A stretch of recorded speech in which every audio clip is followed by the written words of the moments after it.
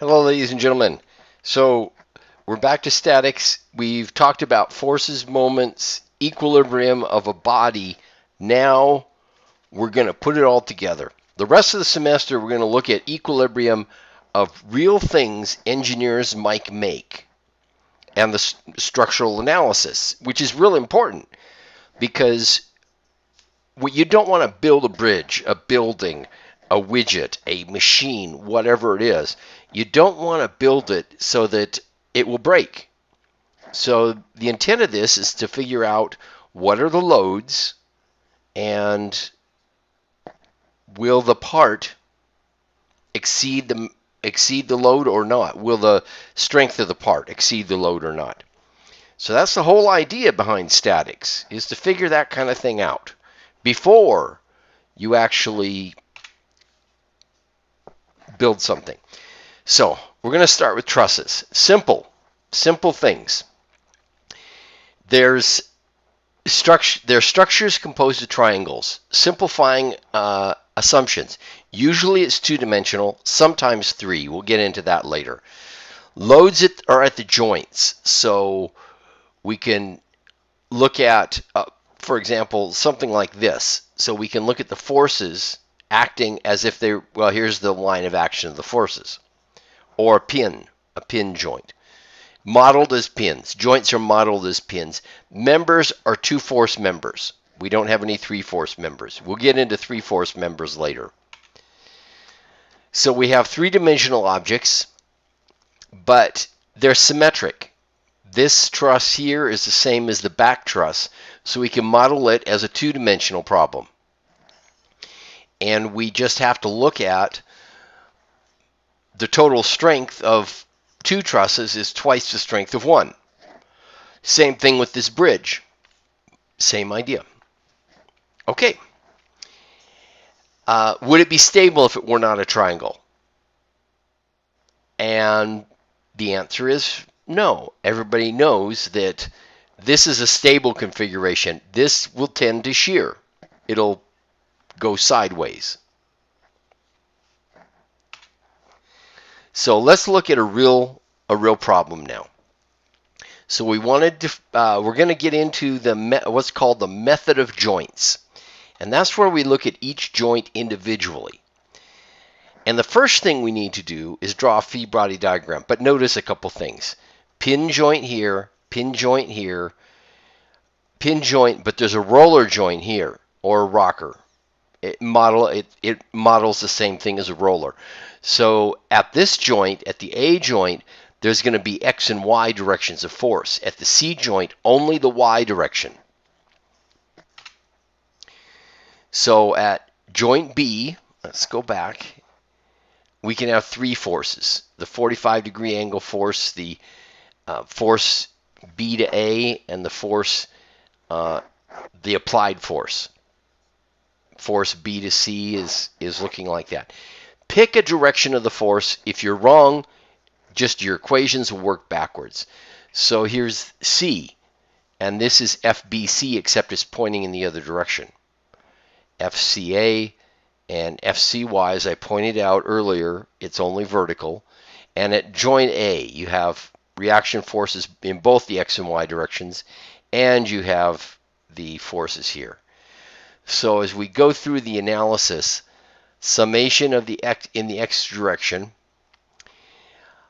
uh, looking at joint B, so 500 newtons minus FBC sine 45, there we go, has to equal zero. Now is actually this should be a cosine to be technically correct, but of course sine and cosine are the same value at, uh, oh, I'm sorry, I was looking at the wrong angle. So yes, it is sine 45. Sine 45 is correct. Okay. 500 minus FBC sine 45 equals 0, and you can calculate FBC is this. 707 newtons. Summation of forces in the y direction, very similar. FBC cosine 45 this time, going up, FBA going down, which is why it has the negative sign, and uh, that makes FBA equals 500 newtons too. So this times the cosine uh, gives you 500 newtons. Okay, so now we got those two. We got the 707 newtons acting at point C. And so that'll be 500 newtons acting down, 500 newtons acting to the right. Uh, that means CY has to be 500 newtons, CA has to be 500 newtons. We've already figured out CB, uh, FBA has to be 500 newtons, and we've solved the problem. So that's this is the principle behind the method of joints. We draw our free body diagram around each joint. We say, okay, let's look at the free body diagram here, and the free body diagram here, and the free body diagram here. And here's the full-blown everything that we're looking at. The members, uh, joint A is pushing up with 500 newtons. The beam is pushing down, equal and opposite reactions here, equal and opposite reactions here, and so forth. Okay. So now let's use a similar technique on this structure. So it's a little more complicated structure pin here, so we have reaction forces both in the x and y direction, applied forces here and here, a roller or rocker modeled as a roller, only normal forces at point A, and let's keep going. So uh, let's see. B. We're looking at B first. There we go. 400 newtons. And we have an e, no, do we have it? No, we don't. What we have is a 3, 4, 5 right triangle. 3, 4, 5. Now, let me do something here. Okay, I've written down a few facts. First of all, noting it's a 3, 4, 5 right triangle, we can write down the sine and cosine of the angle. Um, I've drawn in the forces that would be acting on joint B. And let's take a look, see if that's what works out.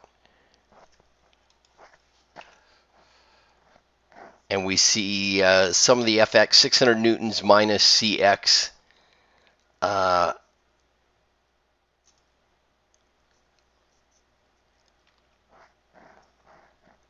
so the first thing the book does, I got a little ahead of myself. First thing in analyzing the problem is look at the overall reaction. So it just it looks at the entire structure, looks at the free body diagram of the entire structure, and then finds the reaction forces, the overall forces. So AY um, minus CX minus 400 has to equal 0. Uh, CX has to equal 600 negative cx plus 600 has to equal 0. So cx has to equal 600. Okay, so we got that straight off. And then um, the y equation, just like I mentioned. But we need the moment equation to, to, get, to get the reactions. So let's see, the moment is around C. So it would be the 400 times 3 plus the AY times 6. Uh, this would be a positive number counterclockwise. This would be a negative number. Uh, do we have to worry about this? Yes, we do, down at the bottom, because we do have a lever arm. So the moment about C would also include a counterclockwise 2400 newtons meters counterclockwise, AY 6 AY counterclockwise, and 1200 newtons, negative 1200 newtons, or in other words, clockwise. So 6AY, 1200 newtons, and they negated, let's see, 600 times 4, 2400, 400 times 3, 1200. So indeed, they're keeping the sign convention, clock, counterclockwise, counterclockwise, equals 0 which means um, AY has when you crunch the numbers, AY has to equal 600. You'll this the sum of these two is 3600 divided by 6 will give you 600. So we've got A, B, and C. Or excuse me, not B, but just A and C. So now we can go to the joints. And now, this is where I got ahead of myself.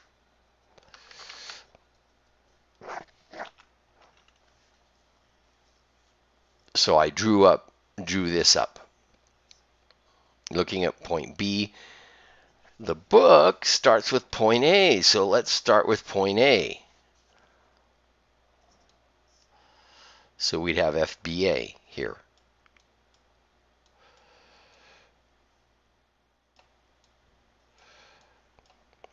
And FAD.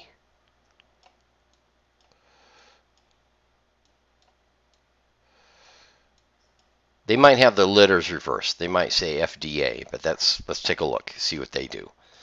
They say FAD, they say FAB. They have the arrow reversed. So let me see about that. Let's be consistent with the book. Let's make it more consistent with, get the arrows. And the same thing here. They would, so that means this arrow up here would also have to be reversed.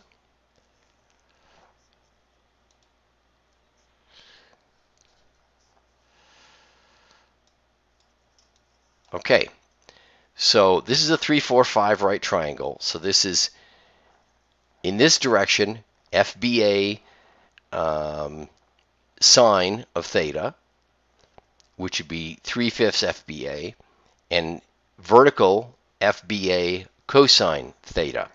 I'm going to pause the video here. We'll go. We'll take this up in the next video. Stop the video here. Take up the rest of this problem in the next video.